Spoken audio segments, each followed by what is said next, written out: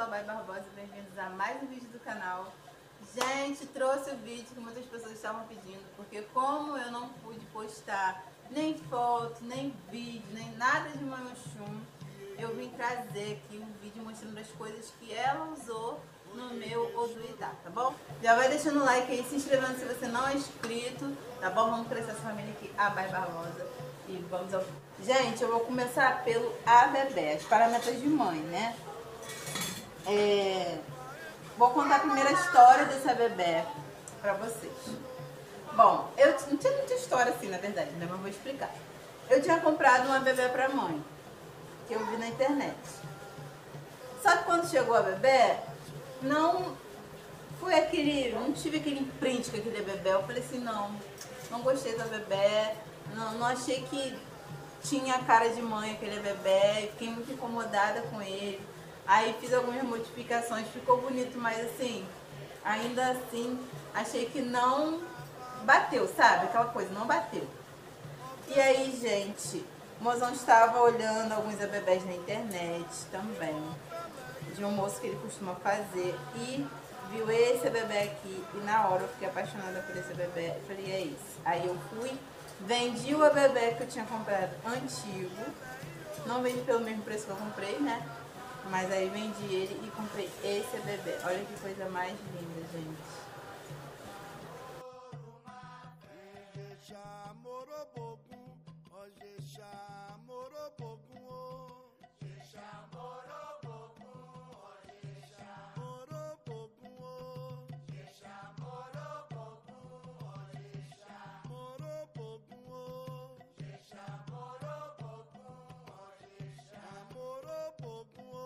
Ó, acabamento de milhões. E bem douradinho como eu queria. Lindo, né? Gente, eu fiquei apaixonada. Olha o barulhinho que faz.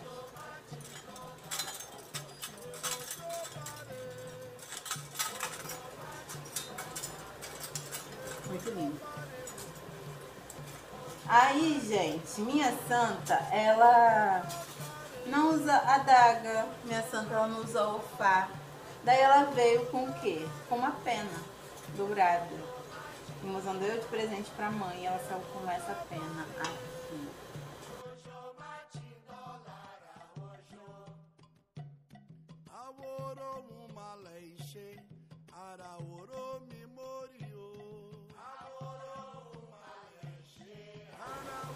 Então como mãe não usa nada, assim, tipo, além do bebê, ela veio com as duas paramentas que bebê e pena.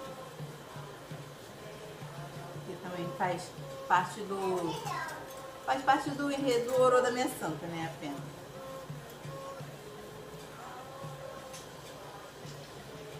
Apaixonada, apaixonada por tudo de mãe, gente. Vou botar aqui. E o AD de mãe, gente? Gente, o AD de mãe eu comprei ele há mais ou menos um ano atrás. E assim, eu comprei, comprei a parte de cima só e o chorô eu fiz. Então, olha só que coisa mais linda!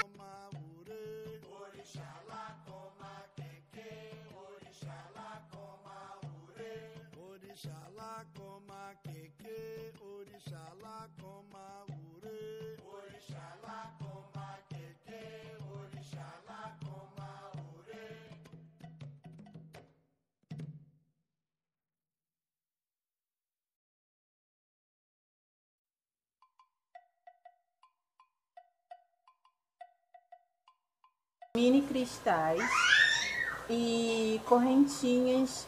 Eu fiz algo que ficasse bem delicado, sabe? E ficou, gente, bem delicadinho, bem lindo. Então, comprei mais ou menos um ano e assim, tá perfeito, tá vendo? Mas é tudo modo que a gente conserva ele. Eu deixo ele guardadinho dentro do saquinho esse tempo todo. Não passei nada, gente, para conservar, tipo base nem nada. E ele continua perfeito, intacto. Entendeu? Os, o chorou também intacto. E mãe ficou perfeita, né? Posso, preciso nem falar pra vocês que mãe ficou perfeita com esse ali. Gente, tudo de mãe é, cada coisinha dela eu comprei em um lugar. Esse daqui foi no ferramenteiro que eu falei, né? Paramenteiro, não sei como é que fala. E a pena, ele é do Rio. A pena veio de São Paulo. Veio de São Paulo. E o AD, gente, foi envio internacional. Veio de Taiwan, se não me engano. Não lembro mais o que é. Sei que foi envio internacional. E, gente, eu sei que vocês querem muito ver a roupa de mãe. Vou mostrar pra vocês. Bom, a roupa de mãe foi, assim, contra tudo que as pessoas imaginariam que eu colocaria em mãe Oxum. Muitas pessoas acham que eu ia botar mãe de amarelo, muitas pessoas de rosa, né? Porque eu gosto de botar mãe de rosa também. Só que eu botei uma cor nela que ninguém esperava que eu botasse em mãe.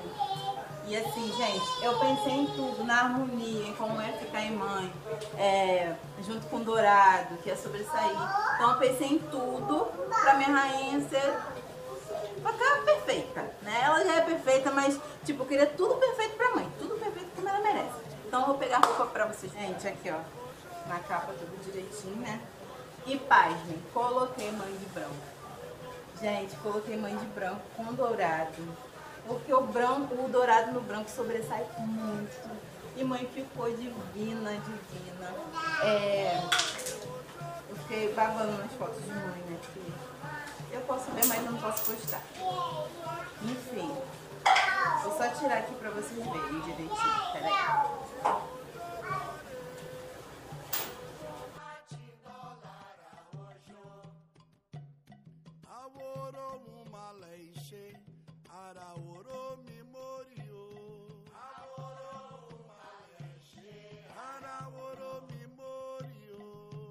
Quando eu fiz essa roupa, na verdade não foi eu que fiz, foi minha irmã de santo.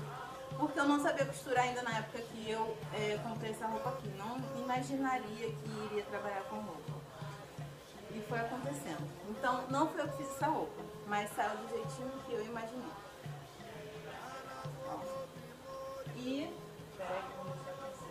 Esse daqui é o pano da costa. Bem lindão também. E, gente, o que sobressaiu foi os paramentos de mãe AD. No branco, vocês têm noção de como ficou bonito. O laço, são os três laços iguais, então vou pegar um só pra mostrar pra vocês. Ainda tá amarrotado do dia da, da, do candomblé ainda, ó. Branco. Mãe ficou rainha, gente, não tem noção. Ai, queria muito poder mostrar pra vocês, mas não posso. Mas idealizando como mãe ficou bonita. Ah, esqueci de mostrar uma coisa, gente. Espera aí. Daqui, gente, chamou tanta atenção na roupa branca, vocês não têm noção. Ó, essa gargantilha aqui que eu comprei pra mãe, bem afro, junto com esses braceletes. Olha como sobressai isso no branco, gente. Vou pegar aqui só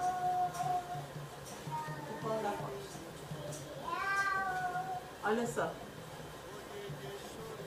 como sobressai no branco. Ficou linda, gente, divina. Então, agora eu vou guardar tudo direitinho. E foi isso o vídeo, espero que vocês tenham gostado. Coloque ideias de vídeo pra mim aí nos comentários, me dê sugestões de vídeos que eu trago pro canal.